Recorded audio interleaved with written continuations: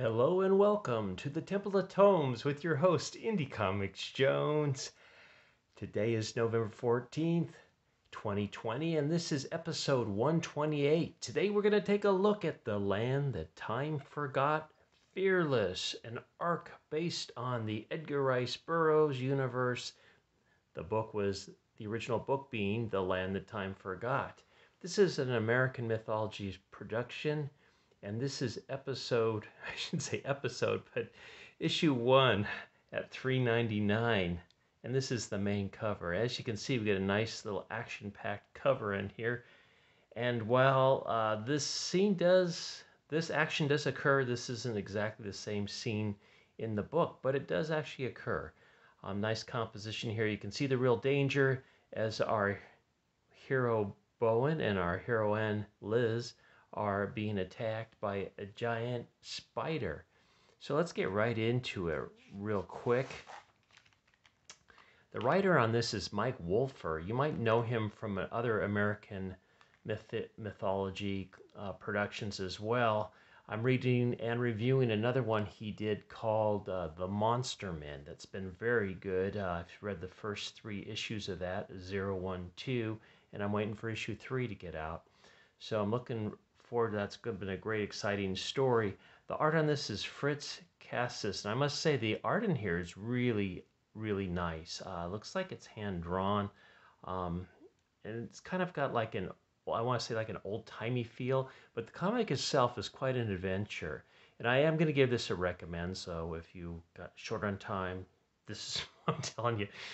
This is a recommend. The first three pages are spent with some beautiful scenes as we see Bowen and Liz walking through the different uh, jungle. This is like a continent that has been discovered down by Antarctica, somewhere out in the South Pacific, and it's unknown to them. And I believe it's supposed to be right around World War One, so early 19th century, uh, early 20th century. Actually, I guess it would be around 1910 to 1920, somewhere in there. And um, there's a group of guy, guys and girls, I, I'm guessing there were some other girls besides Liz, that were stranded on this island after their boat crashed into it. Um, and that is the basis of the land that time forgot. I want to pick that up because I believe Mike Wolfer wrote that as well, or wrote the adaptation of it for the comics. Um, so I'm going to try to see if I can pick that up, at least in floppy, maybe maybe trade if that's available. But the first three pages are kind of a narrative by Bowen, talking about um, the last uh, issue, how they were at Fort Dinosaur and uh, they got separated from their group. So these two are just out walking themselves. They've spent many weeks walking together and they eventually fell in love and got married under the stars by themselves because there's just those two. Well, as he ends his narration here, they get picked up by a, a uh, giant, a pack of giant hyenas. And so they make a break for it into the woods, and some really nice drawing here, you know, as they're cutting through the savannah there, trying to get away. And uh, you can see these hyenas are closing on them. Um, Bowen turns around every once in a while to take a shot at them. They keep moving. They see there's a cliff here and they see vines. And so they go ahead and their idea is jump on the vines and the hyenas won't catch them. In the meanwhile, Bowen continues to shoot at the hyenas and uh, they jump across. Um, just one last hyena, just missing them, jumping into the, the depths below the cliff doesn't quite make it.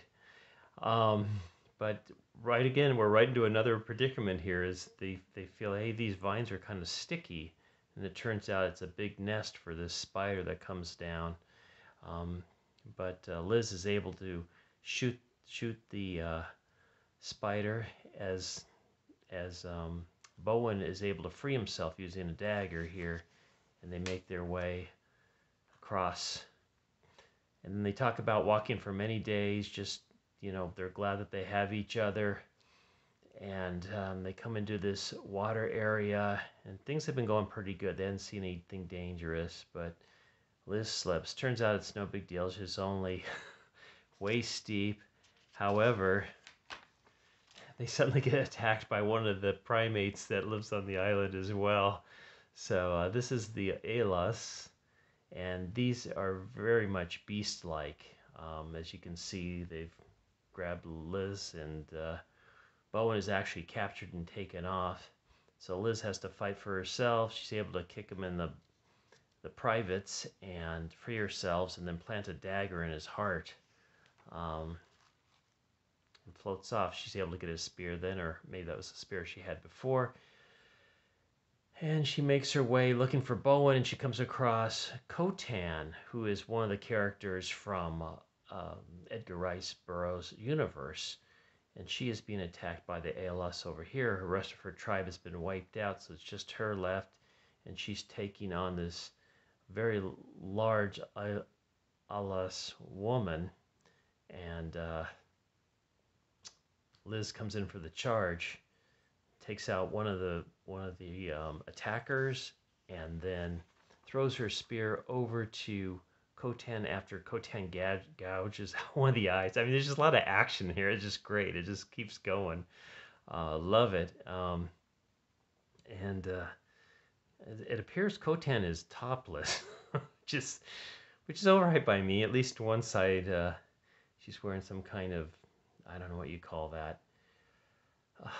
Half half bra, I don't know. But her, her long um, animal hairs actually cover up her other breasts for the most part. But uh, so we have two stunning women together. This is just a fantastically fine comic. We move on, and they make friends, and they decide to go off together to look for Bowen. And uh, they follow her the footsteps now into a swamp area and they come across some baby dinosaurs. The dinosaurs are, I guess, are all over this island, or this small. It's, uh, I guess, it's supposed to be like a hidden continent. And uh, a dinosaur pops up, and suddenly, out of the swamp, is riding this another. I guess she's like a priestess. I don't know if she's part of uh, tribe or not, but um, she is the daughter of Lueta, who Co-Tan does know. So we, it's probably going to be some kind of um, alliance made here, I'm guessing, as we move into the next issue. But this is a recommend. And real quick, we'll go through some of the other stuff. Here's Zorro in the land that time forgot. I don't know anything about this. It's a crossover. Um, I don't know who wrote it. It doesn't really say who's writing this one, and, and but they give us a little preview of that. And this doesn't really look that appealing to me, but you can see there's the galleon heading for the Lost Island or Lost Continent. And uh, issue one is supposed to be on sale right now. So if that looks good to you, go for it. Um, I will not be picking this one up because there's a few others that I do want to get. Um, neither one of these. These were like Halloween treats I think I got this book like two or three weeks ago. Moon Maiden. I might check this out if I see it there. Uh, it is a Mike Wolfer as well. We have uh, Pellucidar. Um, I'm not sure who wrote this one. There seems to be a number of issues of this as well, as well as crossovers for the land that time forgot. So, and the Monster Man, which we are reviewing, this I do want to read. I there was a, a preview in one of the uh, I believe it was a Monster Man, and it looked really good. So this is Zorro versus El Hijo Hijo del Muerte, if I said that right. Zorro, the Galleon of the Dead, and that is a Mike Wolfer. I haven't seen it at the store, but I'm going to ask them to order it for me. And that's pretty much it. As you can see, here's just some more American mythology books. And Zorro, another last plug for Zorro in the land that time forgot. So, all in all, I recommend The Land that Time Forgot. Fearless is the arc. And I really thank you for stopping by the Temple of Tomes. This is Indie Comics Jones. Thank you for subscribing. I know I got a few sub- subscriptions this week, so thank you on that. Um, got a lot of likes, uh, not too many comments, but if you want to comment, please do. And if you got a dislike, please tell me why, because I only want to get better at this. So, once again, this is Indie Comics Jones bidding you adieu. Take care.